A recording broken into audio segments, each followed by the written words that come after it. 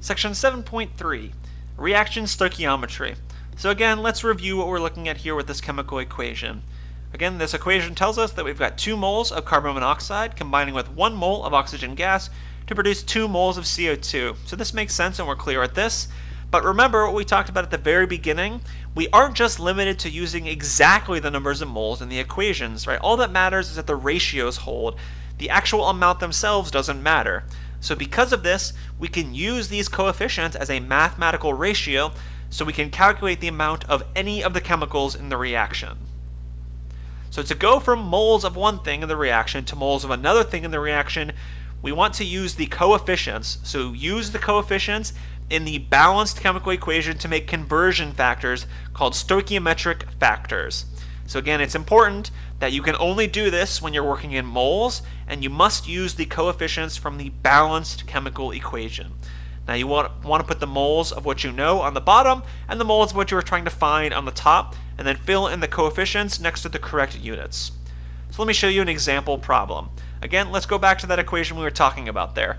Consider the complete reaction of 3.82 moles of CO to form CO2. I do also want to mention, if nothing is said about oxygen gas, you can assume that you have enough oxygen gas. So 3.82 moles of CO to form CO2. Calculate the number of moles of CO2 produced. So here we are trying to convert from CO to CO2.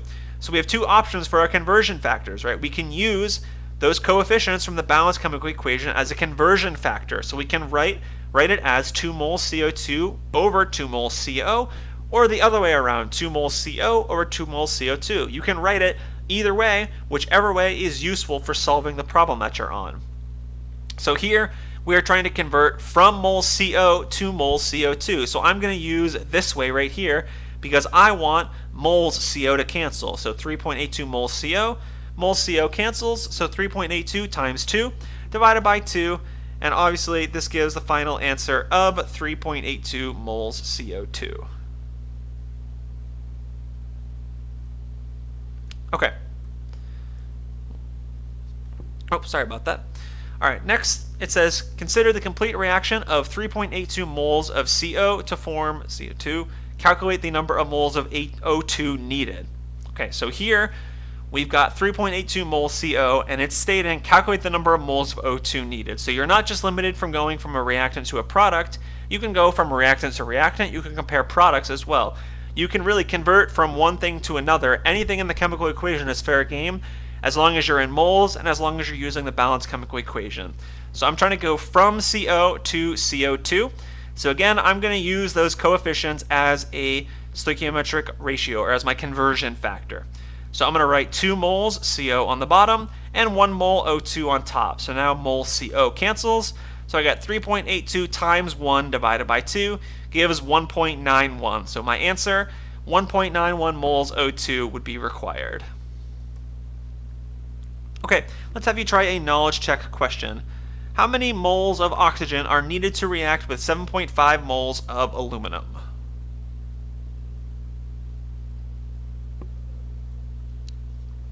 Okay, and the correct answer is A, 5.6 moles A2. So I've got 7.5 moles aluminum.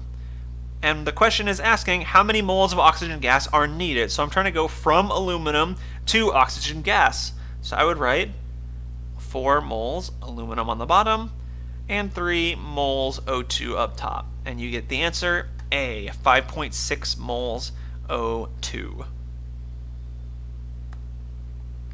Alright, let's look at a moles to molecules example. This problem states how many carbon dioxide molecules are produced when 0.750 moles of propane is combusted according to this equation. And usually I'll give you the equation that's balanced, but if it's not balanced, you would need to balance it first. But this one is balanced. So I'm trying to go from moles C3H8 to molecules CO2. So first thing I should do is use stoichiometry to go from moles propane to moles carbon dioxide. Then, once I have moles of carbon dioxide, now I can find molecules using Avogadro's number. So 0.750 moles C3H8. I'm going to use those coefficients from the balanced chemical equation as my stoichiometric factor or as my conversion factor. So 1 mole C3H8 goes on the bottom. 3 moles CO2 goes on top. So now moles C3H8 cancels, and the unit I'm left with would be moles CO2. And so you can stop there and break this into two parts. So my answer now is 2.25 moles CO2. Now I'm going to go ahead and use Avogadro's number. So 2.25 moles CO2 times 6.022 times 10 to the 23rd over moles CO2. And this gives 1.35 times 10 to the 24th molecules CO2.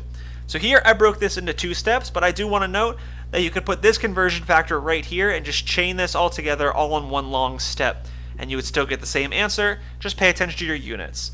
I know it's tedious, but it is really important, especially in stoichiometry, that you are writing your units because then it makes it easy to track mistakes if you end up getting the wrong answer. Now, what about grams? Well, we can't go directly from grams of one substance to grams or moles of anything else. Remember, the only relationship between two different chemical chemicals in a reaction is moles, using the stoichiometry and using the coefficients from the balanced chemical equation. You cannot convert from grams of one thing to grams of another. You first need to use molar mass to convert from grams to moles, then go from moles to moles using stoichiometry, and then finally moles to grams, again using a molar mass. So let's look at this problem here. What mass of sodium hydroxide, NaOH, would be required to produce 16 grams of the antacid milk of magnesia, which is magnesium hydroxide.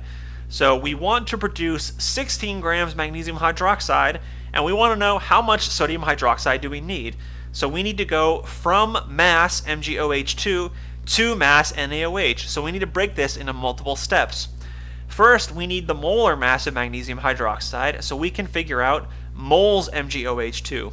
Then we can use our stoichiometric factors to convert from moles MgOH2 to moles NaOH, and then final step, convert from moles NaOH to mass NaOH using its molar mass. So let's look at those steps. I'm going to start with 16 grams of magnesium hydroxide, and I'm going to convert to moles using the molar mass, which I found to be 58.319 grams.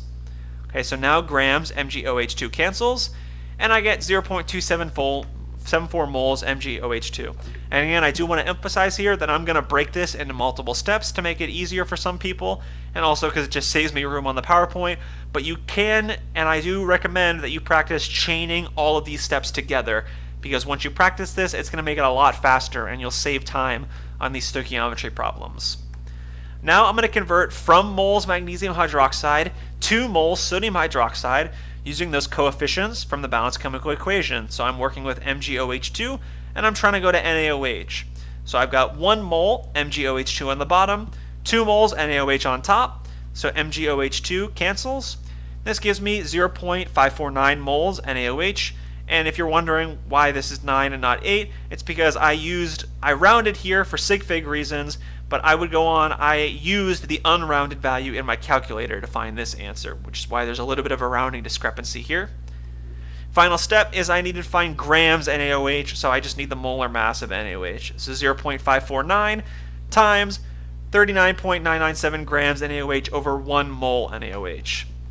And this gives my final answer of 22, so I'm going to round to 2 sig figs since my initial value had 2. So 22 grams of sodium hydroxide are required to produce 16 grams of magnesium hydroxide. All right, let's have you try a knowledge check question here. How many grams of ammonia are produced when 7.35 grams of hydrogen reacts completely with nitrogen to produce ammonia? And again, just assume that you have enough nitrogen. So how much ammonia is produced when you react 7.35 grams of hydrogen?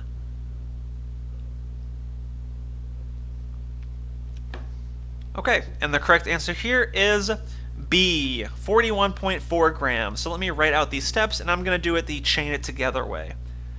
7.35 grams H2. So first convert to moles H2 using the molar mass. So 7.016 grams H2. 1 mole H2 goes up top. Now I'm going to go from H2 to NH3 using the coefficients from the balanced chemical equation. So 3 moles, H2 on the bottom. And again, sorry about my handwriting. I'm just using my finger on a touch screen. And 2 moles, NH3 up top. And then finally here on the bottom, molar mass. So 1 mole, NH3. And this would be 17.031 grams NH3. Sorry, I ran out of room a little bit. All right, and there is your, um, once you chain this all together, you find grams H2 cancels, moles H2 cancels, moles NH3 cancels, and rounded to 3 sig figs, the final answer is B. Final answer is B, 41.4 grams. All right, and just to sum this all up, here's the stoichiometry flowchart for you. So you can go multiple different ways, and I'm going to ask you about these different types of questions. I could ask you for a number of particles. I could ask you about volume using molarity, what we learned from chapter 6. I could ask you about volume using density. Uh, so pay attention to this, these kind of things, but really it all revolves around this key facet in the middle here, middle here, using the stoichiometric factor to go from moles of one thing to moles of another. Okay, so here are a couple practice problems for you to try. So pause the video, give these practice problems an attempt, and once you have done so, here are the answers. So here's the answer for 1A. You can find B, C, and D on the Chapter 7 group worksheet key. And here's the answer for number 2. So that concludes section 7.3. I'll see you in the next one for section 7.4, reaction yields.